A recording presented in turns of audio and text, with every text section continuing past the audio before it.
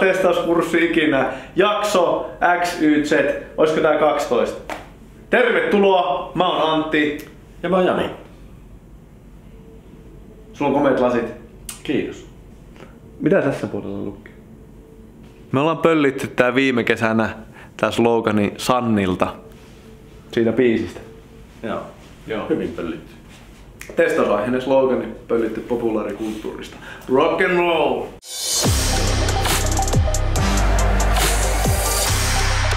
Tässä jaksossa me keskustellaan tosi tärkeästä teemasta. Viime jakso aiheena oli tämä, että jos meidän tehtävä on pyydystää pukeja, semmoisia mehukkaita liiketoimintaa varantavia virheitä, niin se on luovaa työtä. Se ei ole työtä tämmöisellä niin kokoonpanon linjalla, ei liukuhihnalla. Se on luovaa työtä ja tässä luovan työ ytimessä on tietenkin se, että kuinka taitavia me ollaan tuottamaan uusia idiksiä, että mistä me vielä voitaisiin paljastaa tämä softan niin heikot kohdat. Ja se uusien ideoiden tuottaminen on tietenkin kriittinen osa sitä pukien pyydystämistä. Mutta mitä sitten, kun se puki on pyydystetty? No sitten pitäisi tietenkin varmaan raportoida ne havainnot. Sehän seuraava steppi, että asioille tapahtuukin jotain. Täsmälleen.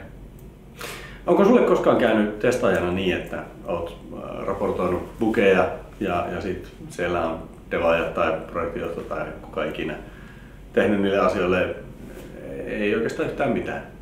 Sieltä on sanottu, että ei me nyt tätä me ei korjata tai tämä on, tämä on minori, tämä ei ole puki, tämä on toiminnallisuus. Ja mikä ikinä se selitys onkaan, niin monenlaista nimittäin kuulee kyllä. Tämä on minori, ei tehdä mitään sille.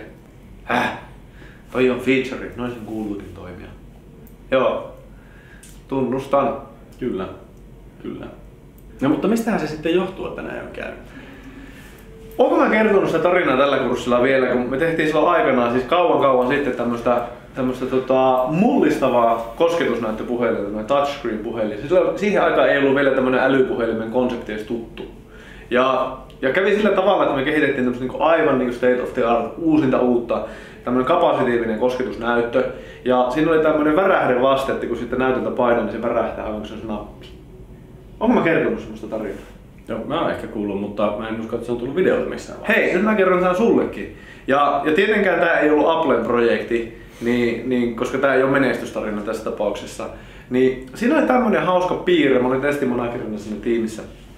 Ja, ja koodausporukka hieman toisella saitilla sitten aika kaukana eri aikavyöhykkeillä. Koodausporukka oli tulkinnut sitä speksiä, että kun näytöllä tapahtuu tämmöinen eventti, Eli, eli painaa sen sormen siihen, niin pitää se värähtää. Ja sitten kun näissä puhelimissa, mäpä näytän, näissähän on Oho, täällä on joku tämmönen muistutuskin. Näissä puhelimissa on tämmönen, että kun sä pyyhkäset näin, niin näin sinne menee esimerkiksi kamera. Oi!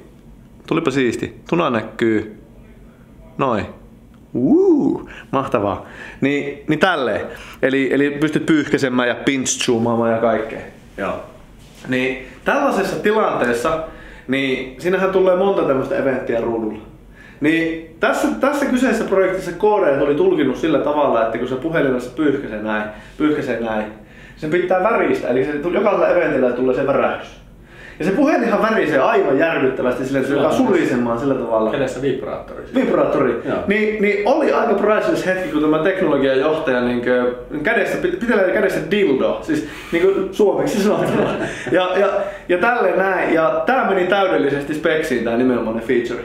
Se meni täysin speksiin ja ei mennyt kuin kuukausi kaksi, niin se hanke ajettiin alas. Tämä oli vain yksi esimerkki näistä lukuisista tilanteista, kun se bugi onkin niinku feature tai, tai feature onkin, miten se sanotaan? En mä edes tiedä. Mutta hänellä oli dildo kädessä ja, ja näin puhelimesta saatiin semmonen niinkö hauskanpitämislaite. Puhelimethan muutenkin on tämmöisiä niin recreational oh, devices, oh, mutta tässä tapauksessa se vielä niin hyvin konkretisoitu tähän kyseiseen piirteeseen. No niin, parhailla testauskurssilla ikinä siis puhutaan nyt vibraattoreista. Eikö siis bukeista?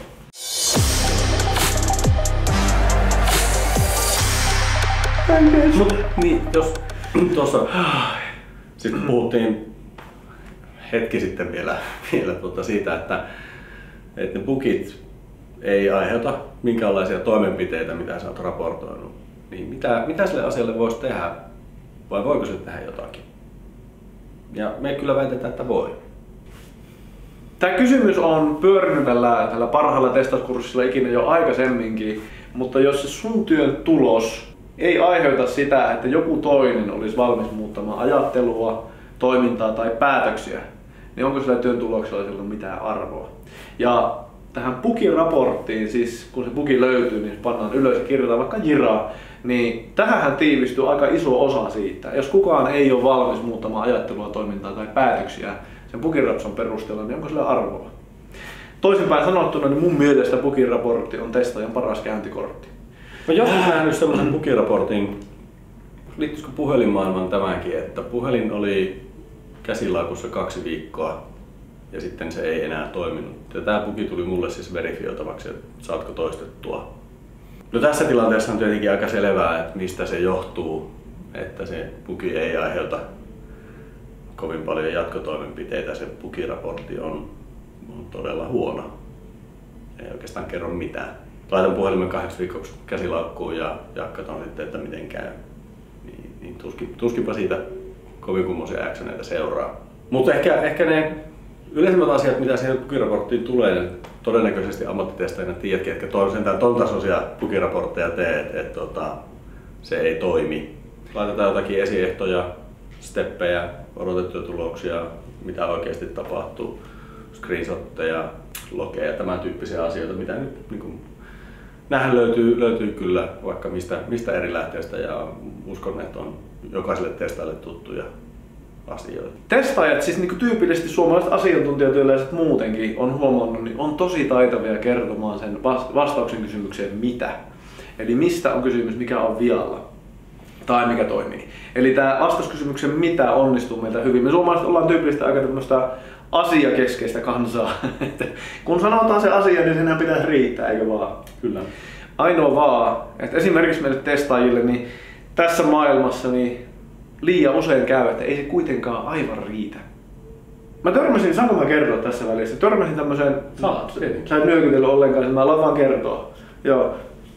Niin mä törmäsin tämmöiseen, siis on tämmönen ilmeisesti amerikkalaisessa koulussa, kun kirjoitetaan näitä esseitä, niin tämmöinen tyypillinen rakenne, mitä niin myös korkeakouluissa suositellaan käytettäväksi. Ja mä en ole koskaan törmännyt tähän rakenteeseen Suomessa. Varmaan justin tästä asiakeskeisestä jääräilystä johtuen. Mutta se ykköskohta siellä on se vastauskysymykseen mitä, niin myös tässä amerikkalaisessa mallissa. Ja, ja sen jälkeen, eli tämä what on se ensimmäinen, sen jälkeen tulee kakkonen, eli kaiken sisällä, mitä ikinä tuotatkin tai rakennat toisia ihmisiä varten, niin pitäisi vastata tähän seuraavaan kysymykseen yhtä huolellisesti kuin siihen ykköseen. Ja se kuuluu näin. So what? Mitä sitten? Miksi tämän pitäisi kiinnostaa jotakuta? So what? Eli mitä ja mitä sitten? Ja, ja sitten tämä kolmonen, niin tämä on tyypillistä, tämä unohtuu lähes aina meillä. Niin tämä kolmonen on sitten, kun se ajatus on saatu heitettyä ilmoille ja ollaan saatu kertoa, että mitä sitten. Eli miksi tämän pitäisi olla, mer- miksi pitäisi niinku merkitä jotakin. Eli niinku, et, et siis niinku, mulla, tulee, mulla tulee mieleen se Ismo Leikolasen no niin. Se, se no niin. No niin. Olet varmasti nähnyt sen Ismo Leikolasen no niin. Se, no koska niin. Tässä, tässä on se, että mitä ja mitä sitten. Ja sitten se kolmas kysymys, niin tää on semmonen, että now what? Eli mitä sitten? Eiks niin? Joo, ja suomen, suomennokset on kyllä. Joo, suomennos toimii tässä paremmin. Kiitos Ismo Leikola, ne aplodit hänelle. Eli what? So what ja now what, niin mun mielestä tämmöisen rungon ympärillä olisi ihan järkyttävän siistiä opetella paketoimaan melkein kaikki työn tulokset. Ja nämä Booking-raportit, niistä tulee ihan järkyttävän hyvä. Joo. Mun mielestä testaajan käyntikortti, jos tämän osaisi niin rakentaa sinne. Semmoisen yksinkertaisen esimerkin, jos annan, annan niin tota, monesti lähdetään tutkivaa testaamista meillekin tekemään ei niinkään speksien pohjalta, vaan vaikka myynnin ja markkinoinnin materiaalien pohjalta. Ja siellä monesti näkee esimerkiksi tämmöisen lausahuksen kuin helppo ja nopea käyttöönotto. Ja tämmöisiä testejä kun ollaan tehty, niin äh, okei, okay, joskus löytyy se semmoinen äh, iso herkullinen buki, joka ehkä jopa estää sen käyttöönoton, mutta se mikä on, on tyypillisempää on se, että, että siellä on monta pientä bukia sen käyttöönoton aikana, vaikka sanotaan ensimmäisen viiden minuutin aikana. Semmoisia, että vähän kompastelee se käyttöönotto, mutta kuitenkin sen saa tehtyä. Ja nyt jos tämmöiset pikkupukit raportoidaan jonnekin pukihallintajärjestelmässä, Jiraan tai mikä ikinä se onkaan, niin projektijohto katsoo, että minor issueita ei tehdä nyt ainakaan näille mitään, tässä on vähän kiirettä ja tärkeimpiäkin asioita, laitetaan backlogin perälle, tehdään sitten kun on aikaa. Ja todennäköisesti aikaa ei edes koskaan tule, eli ne jää sinne roikkumaan ja niille ei ikinä tehdä mitään. Mutta näissä tapauksissa me ollaan tehtykin asiakkaille semmoinen ihan aika jana, että tuossa on ensimmäiset viisi minuuttia, tuossa on puki, tuossa on puki, tuossa on puki, tuossa on puki, tuossa on puki. Ja tuossa on tuo lupaus asiakkaalle, että helppo ja nopea käyttöön. Ja nämä riitelee keskenään. Niin silloin se joukko niitä pikkupukeja siitä käyttöönotosta otetaan huomattavasti vakavammin ja niille jotakin tehdäänkin.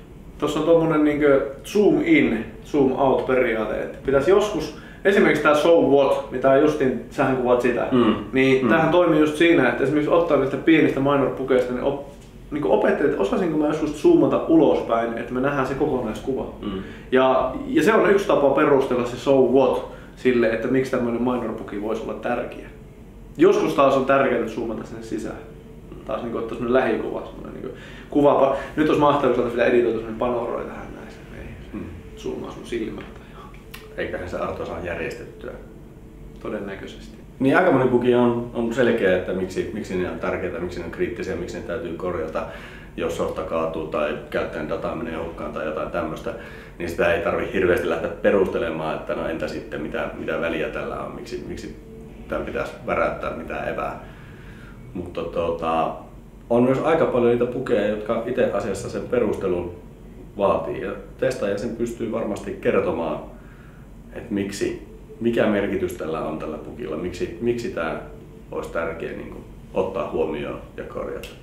Ja uskon, että tällä jo saa monta, monta semmoista niin kuin ns-bumerangia ää, estettyä, että, että ne tosiaan oikeasti, oikeasti aiheuttaa jotain to, jatkotoimenpiteitä nämä raportoidut puki. Joo. Jos summaa, niin vastaa kysymykseen mitä, mutta älä lopeta siihen. Sitten muista, että mitä sitten. Ei vaan siis, mitä sitten? Eli souvot. Ja sitten mitä sitten? Se nauot. Niin näihin kolmeen, kun onnistut tämän tarinan kertomaan ja opettelet ja etit menetelmiä siihen, just tämmöisiä samanlaisia kuin tämä Tuna kuva, se kokonaiskuva, zoom out, zoom in, niin mun mielestä tämä on se paikka, missä me pystytään eniten korottamaan sen bugiraportoinnin tasoa. Ei niinkään niiden detailien määrässä tai, tai muualla, vaan siinä, että me osataan kertoa se koko tarina. Ei vaan se niin jäävuoren huippu. Tällainen oli nyt tämä paketti. Meillä ensi jakso, tota, äh, me aletaan lähestymään kurssin loppua. Sano Kello, sano kellostako sä sen katsoit, että nyt alkaa kurssin Joo. loppu lähestyä?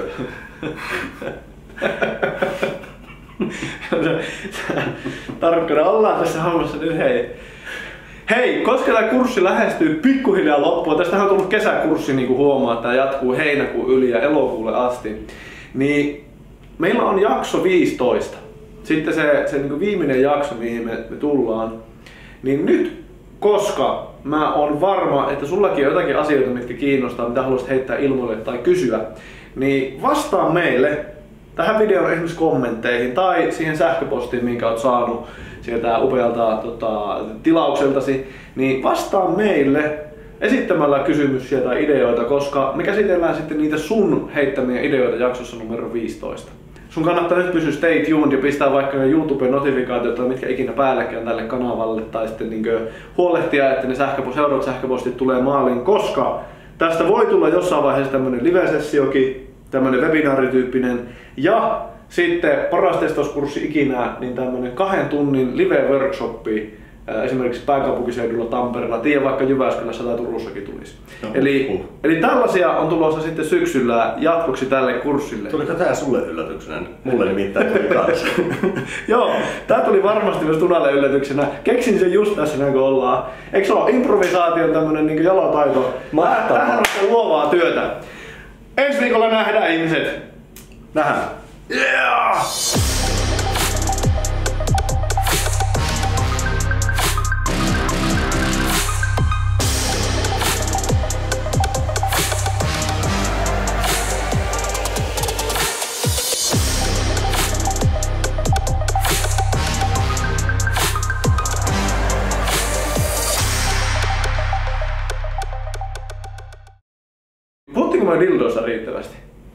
Puhua vielä niistä?